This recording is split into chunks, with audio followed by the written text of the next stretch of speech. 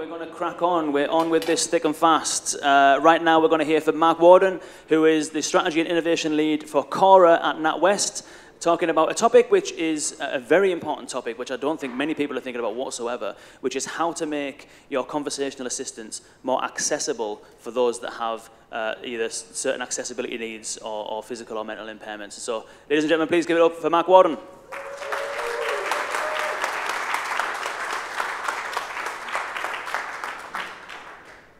Thank you very much. I am not going to talk about large language models, so apologies to begin with. Uh, I will cycle back at the end. I'll do 10 seconds on them. Uh, I am Mark Worden. I'm the Strategy and Innovation Lead for Cora at NatWest. And today, I'm going to be running you through how we are making conversational AI accessible by design in NatWest. So, what does that mean to begin with?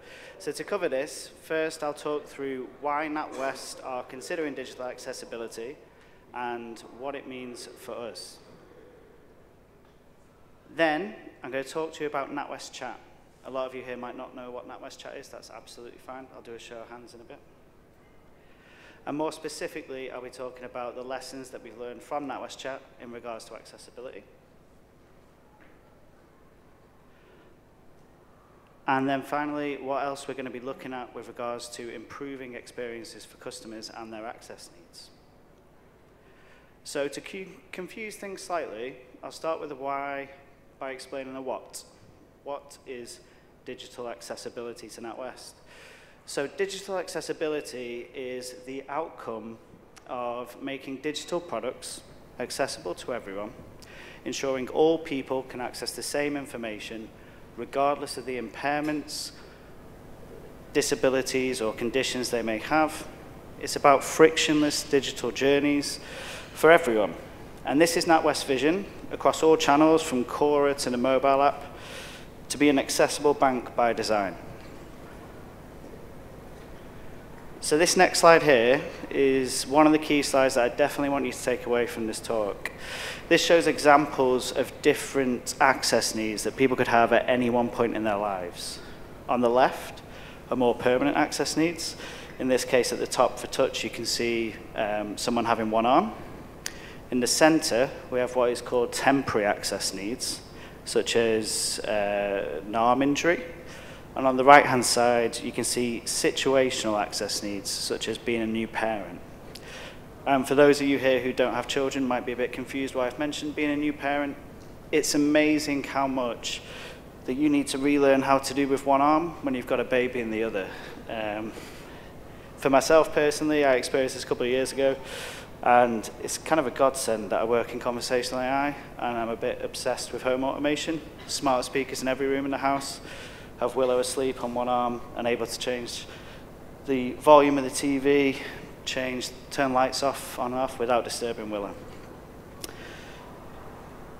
So the thing I like the most about this image is if you actually design with the permanent access needs in mind on the left, you're automatically designing for all the access needs on the right. So by doing that, you're making the experience better for both temporary and situational access needs. So what are the benefits of designing for accessibility? Well, from an innovation perspective, you create a growth potential from diverse ideas. From an inclusion perspective, uh, no customer is left behind. Roughly one in five people in the UK have a permanent access need. And 78% of people will develop an access need, whether permanent, temporary, or situational, at some point in their lives. From a productivity perspective, accessible solutions boost productivity, and around 75% of customers with a need will walk away from an inaccessible experience. And of course, there's compliance. Um, I don't need to mention consumer duty for a lot of people here, but there is compliance as well.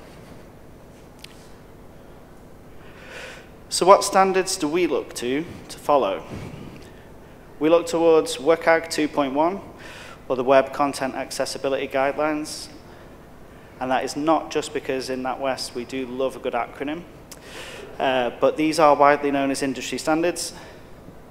The slight issue being here that they don't have specific guidance for conversational AI assistants. So they're predominantly for web. Mobile guidance was added in 2018. 2.2 is around the corner, but it doesn't contain a lot of guidance for conversational AI. So these are more principles that we follow to try to be as accessible as possible. Which leads me on to NatWest Chat. So quick show of hands, not from the guys in NatWest. Does anyone know what NatWest Chat is? That's great. That's really good. I'm happy. Um, because you're about to see something new that we've been working on. For the past year and a half, we've actually been building in-house our very own custom user interface for conversational AI. And no, I'm not trying to sell it to you today, so don't worry. Uh, but I am going to talk to you about the lessons that we've learned along the journey uh, from an accessibility perspective. So before we talk through that, a little background as to why on earth we would actually take on this pretty big challenge, which is exactly what it has been. First of all was cost. We currently use LivePerson, for those eagle-eyed among you, and they are an expensive supplier. We completed an RFI, and as part of that, our technology team actually put together a demo themselves, which brought around the second benefit, control. With LivePerson, we would often ask for an increase in functionality, like, say, a date picker, not a complex UI component, but one that would benefit, say, setting up a standing order on the right day, searching transactions in a date range, and we would find with these that it would take, and I'm not joking, years to come through. And when it did go into production, it wasn't fit for our use cases because we're a bank and we're awkward. Uh, but it was built with other companies in mind. So we were one fish in the ocean, which leads me to the second benefit of why we considered this vision. This gives us complete control from a UI perspective on our vision and strategy for Cora going forwards. Finally, inclusivity. LivePerson are WCAG 2.1 AA accredited. Okay? However, when we had our annual audit for accessibility, over 100 defects ranging from blockers to minors were identified with LivePerson and are still outstanding now. Uh, this gives us the chance and the power to actually change that for our customers. So on to NatWest Chat and the learnings that we, we have. So the first was with carousels. You can see from this complex uh, number system just how much you definitely need to take into account uh, in terms of the screen reader order, tabbing order. But the first thing we found when looking through our uh, outstanding defects with LivePerson is that our conversational analyst will be responsible for all the tooltips. With most of our carousels being instructional guides, showing step by step how to self-serve in a journey, the image being what the customer would see in an app or e-banking, the tooltip would often be put down the same for the image and the text. So a screen reader would repeat itself to the customer for every card on the carousel. That's a problem from an accessibility perspective. So in NatWest Chat, we now only actually pay attention to the tooltip on the image. The tooltip for the text is automatically taken from the text. Um, and we also have guidelines in place for analysts in terms of what to write for the imagery itself. The next was how complex and focused the tab order could be. When you tab, does it read through the first card, then go to the buttons? Does it move on to the next card seamlessly? If it's the latter, when you reverse tab, does it do the same in reverse, or does it go back to the buttons? So we did a lot of customer testing with people with access needs to determine what the best tabbing order was for that use case. It's a lot more complex, complex when you actually think about it. And finally was the importance of buttons. So in LivePerson, we found the buttons were actually embedded within the cards. This made it difficult for people with access needs and without them, actually, from customer testing. Uh, to actually notify where the buttons were and navigate the page. Also on mobile devices, there were no buttons at all, which failed accessibility again because some access needs struggle with the gestures of swiping. Next, we had some information from the bank's Banking My Way initiative. This is an initiative where you can record any extra support you need from human agents. And the top item being recorded was, please speak slower to me. So we also knew of defects too for screen readers. It would get halfway through the first uh, conversational message, and then it would interrupt itself with the next message that came through. So we've implemented the ability for change Cora's speed, and unfortunately we can only do that for Cora. We don't have control over the human agents when we do handoff, so it is just Cora where you can control the speed. Next, we looked at when to apply focus orders. So when we first designed NatWest Chat, we went a bit overkill, and we added focus areas everywhere. We wanted to be as informative as possible, and it was only when we completed customer testing with uh, testers with access needs that we found actually we were throwing too much information to the customers.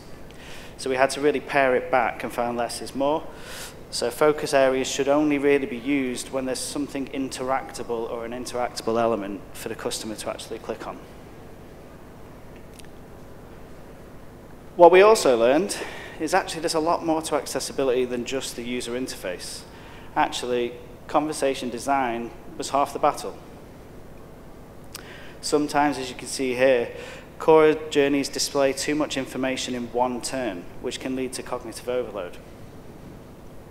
And equally, sometimes there can be too many clickable options within that turn too, which can also lead to cognitive overload. So we've had a look at our conversation design to really focus on how can we reduce that for our customers so that we don't cause that issue.